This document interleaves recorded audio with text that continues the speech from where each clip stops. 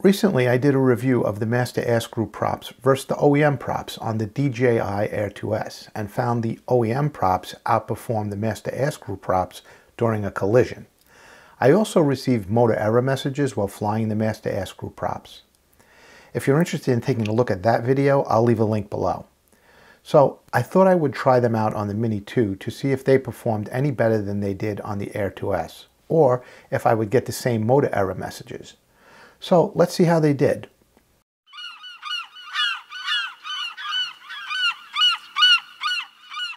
Hey, welcome back everyone. It's Joe from Ghost 1917.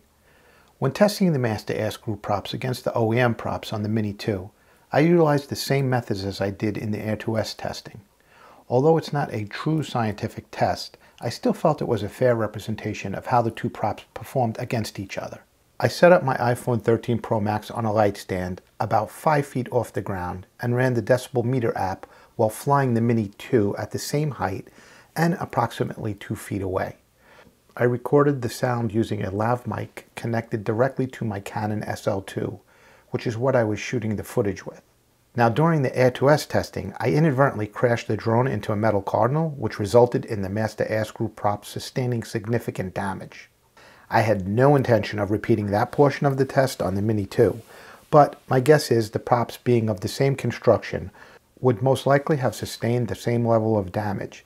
And in fact, I've watched other videos where the Mini 2 props did sustain similar damage after a collision. When installing the props, I utilized the screws provided by Master Airscrew, as well as the included screwdriver.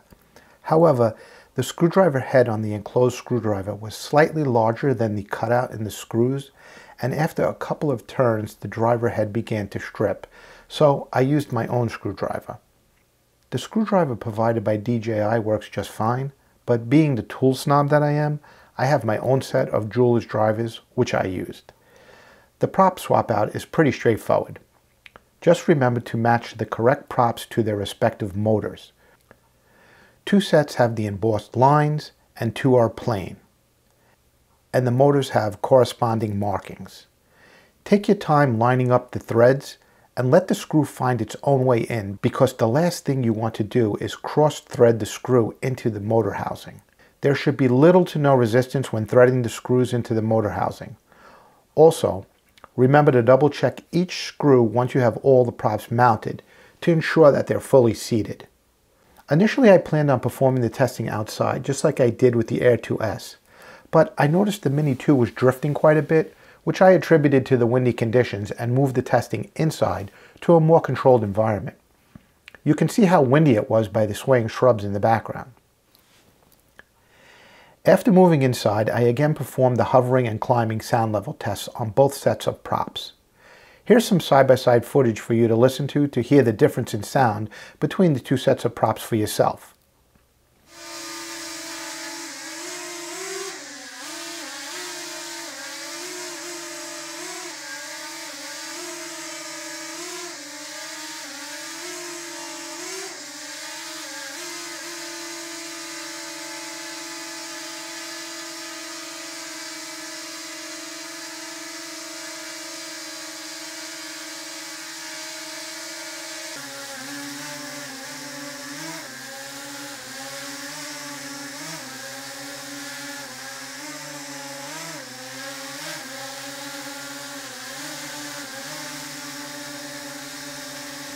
During the testing, I noticed significant vertical drifting taking place when flying the Master Airscrew props. You can see in the video that at one point, the Mini 2 dropped approximately one foot. The OEM props drifted slightly, but the Master Airscrew props had a significant drift. I was sure not to be touching the sticks during this phase of testing so as not to introduce any movement into the aircraft's flight, but clearly while hovering, the Mini 2 drifted significantly when flying the Master Airscrew props. I repeated this test several times with the same results. After completing the sound level test, I moved outside again and performed the same side-by-side, -side, up, down, and yaw movements as I did with the Air 2S testing. And I didn't receive any motor error messages and the Mini 2 seemed to perform well. I will say when flying the Mini 2 indoors, the OEM props felt a tad more responsive to my joystick input. This wasn't as noticeable outdoors where the movements are much wider. This time I thought I would also perform a speed test between the two props. So I ran up to around 200 feet and then accelerated full throttle horizontally in sport mode for approximately a quarter of a mile. The winds were 10 miles per hour from the north with gusts to 19 miles per hour. I ran first from north to south with the wind and then from south to north against the wind. I flew the exact same path when switching between the props. Here are the results of the speed tests.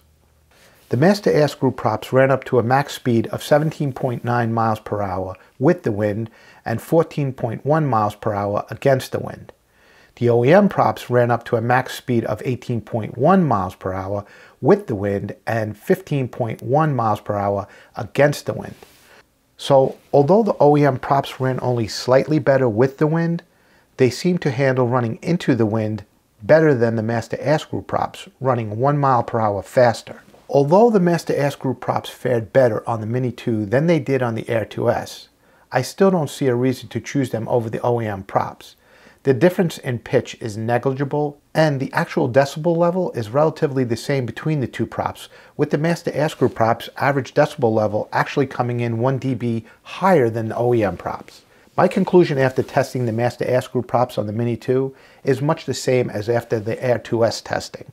I most likely won't be flying anything other than the OEM props on the Mini 2. I'd like to give a special thanks to my future son-in-law Dylan, who was gracious and trusting enough to let me borrow his Mini 2 for this testing video. Hopefully it's not too long before the Mini 3 Pro is out and we get a nice price reduction on the Mini 2, in which case I'll be picking one up for myself. As always, I'd love to hear from you. Let me know in the comments section below if you've tried the Master Screw props on your Mini 2 and what your opinions and experiences are. And while you're down there, make sure to hit the like and subscribe buttons and hit the bell notification so you don't miss out on future videos. Thanks so much for watching and we'll see you in the next one.